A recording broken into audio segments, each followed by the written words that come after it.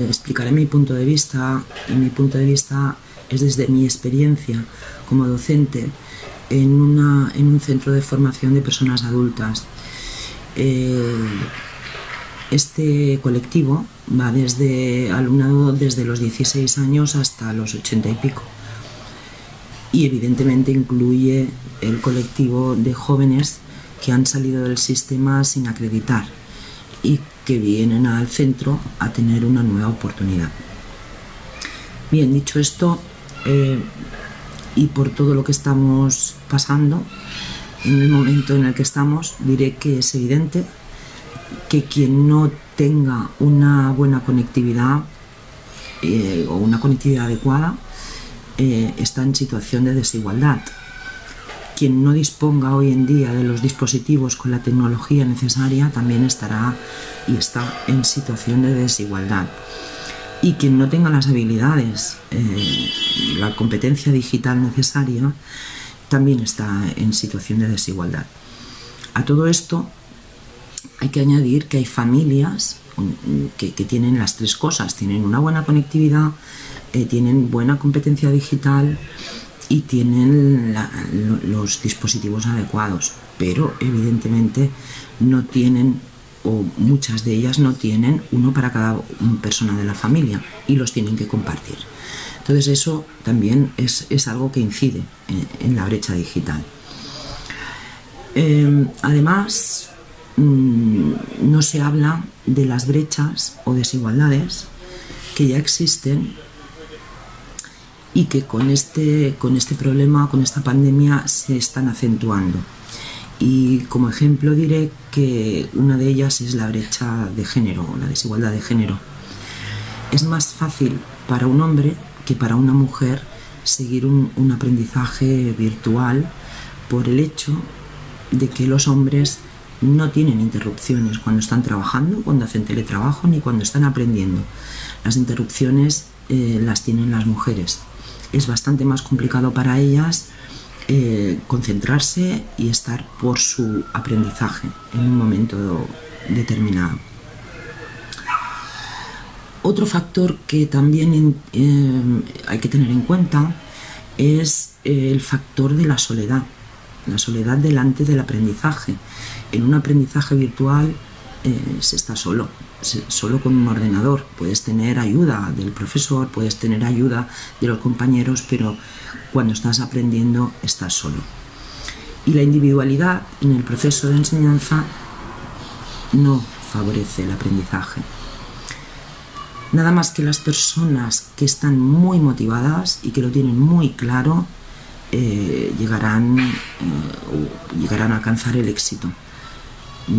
Pero, por ejemplo, me, baso en, el colectivo de jóvenes, eh, estos jóvenes que ya vienen que han, que han salido del sistema educativo y que vienen a intentar otra vez retomarlo, pues hay veces que no tienen la suficiente motivación y cualquier cosa pues hace que vuelvan a abandonar otra vez. A ver, las iniciativas que yo veo, evidentemente, solucionar de entrada todos estos problemas que he ido enumerando. Eh, y sobre todo, soporte y ayuda de la administración. Eh, se necesita un cambio de modelo, un cambio de modelo educativo tomarse la educación en serio, de verdad, y eso significa eh, presupuesto, ¿vale? significa que, se pongan recursos los necesarios. Y, evidentemente con todo ello invertir el proceso.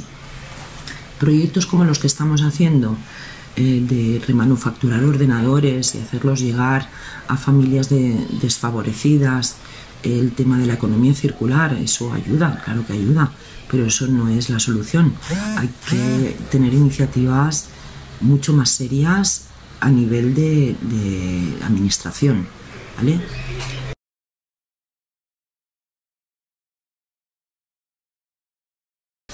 Voy a explicarlo con un ejemplo.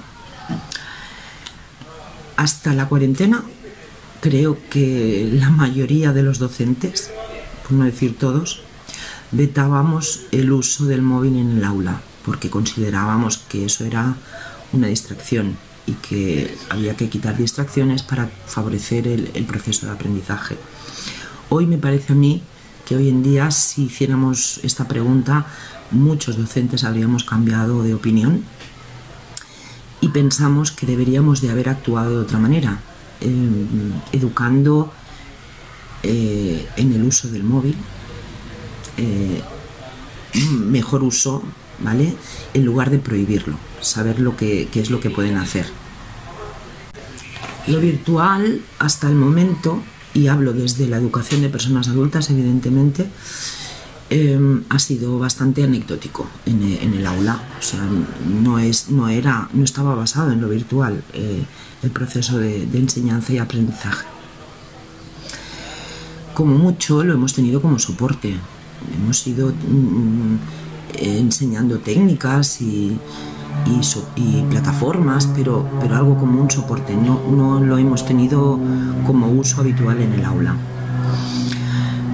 Y ahora ya no hablo de la escuela, de, no, hablo de la formación de personas adultas, hablo de, la escuela en general. La escuela ha cambiado muy poco desde, desde el siglo XIX hasta la actualidad. O sea, tenemos un modelo educativo que se basa en lo mismo. Solo hay que ver eh, cómo están dispuestas las aulas, el mobiliario, eh, eh, dónde se pone el profesor. Mm, todo esto, sinceramente, ha cambiado bien poco. Por lo tanto, Mm, hay, que, hay que hacer un cambio, un cambio de modelo, pero mm, radical. Si miramos los currículums oficiales de los, diferentes cursos, pues nos damos cuenta que, también pasa absolutamente lo mismo. La variación que ha habido ha sido mínima. Y si nos vamos a la formación del profesorado, pues estamos en la misma. es necesario un cambio de modelo, es necesario una formación decente para el docente una buena formación, que se tengan claras las directrices hacia dónde vamos y qué es lo que tenemos que hacer para conseguirlo.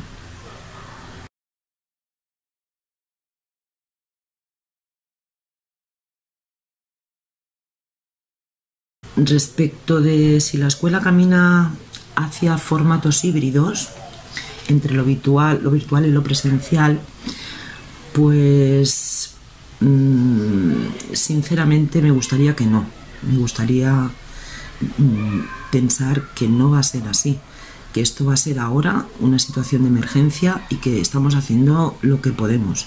Porque los docentes estamos haciendo todo lo que está en nuestra mano porque, porque los alumnos tengan oportunidades de aprendizaje. Pero el tema híbrido eh, realmente no lo veo. No lo veo. Hay un, algo hay cosas positivas que nos están dando esta, esta, pandemia, esta crisis sanitaria que ha habido. Una de ellas es 15 mm, alumnos por clase, eso es maravilloso. O sea, es algo que mm, no sé, no hubiéramos llegado de otra manera. Pero hay mucho camino por recorrer. Primero se tienen que cumplir en las condiciones que he dicho antes, o sea, lo más básico y esencial. Em, el modelo. O sea, el modelo mm, hay que, hay que cambiarlo, hay que cambiar el modelo educativo si queremos que esto sea híbrido. Que de otra manera, a ver, em, no lo veo en el sentido de que, a ver, sí que pueden haber clases y pueden haber cosas que se, hagan de forma virtual. Yo no digo que no, hay que educar en la virtualidad también, pero es que no, puede ser un modelo que se base en lo virtual porque porque ya existen, existen eh, sitios donde se puede aprender online y hay cosas que se desatienden, se desatiende la socialización, que en muchas etapas, por no decir en todas, es algo muy importante. Se desatiende eh, la empatía, mm, se desatiende el cooperativismo. Hay muchísimas cosas que con lo virtual no se, no se pueden atender de la misma manera que con lo presencial. Muchísimos condicionantes que resolver primero, o sea, no se puede lanzar uno al modelo híbrido sin primero no tener las cosas bastante más claras, porque entonces lo que estamos haciendo son parches. Parches que es lo que estamos haciendo durante toda la cuarentena la mayoría de los docentes tenemos mucha responsabilidad en nuestro, en nuestro trabajo, nos hemos creído que esto había que tirarlo para adelante y de hecho hemos hecho lo inimaginable por inventar soluciones para ofrecer a los alumnos aprendizaje en estos días.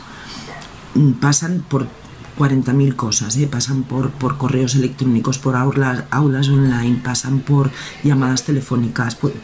O hemos intentado que todos los alumnos estén atendidos y que todos los alumnos sientan que están aprendiendo pero hemos hecho lo que hemos podido, o sea, no, está, el modelo no está hecho.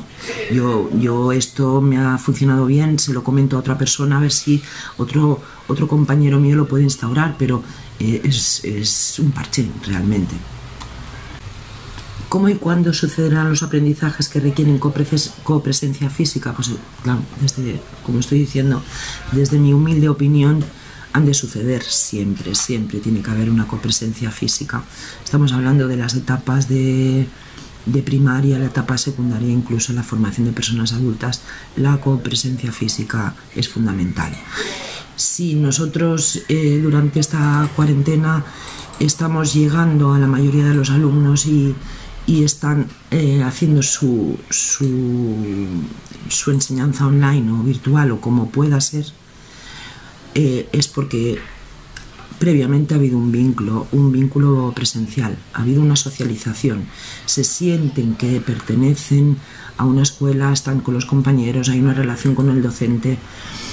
Esto, si no hubiese habido eh, esta presencialidad previa, creo que la mayoría del alumnado hubiese abandonado, no hubiera seguido la formación eh, en, este, en esta cuarentena.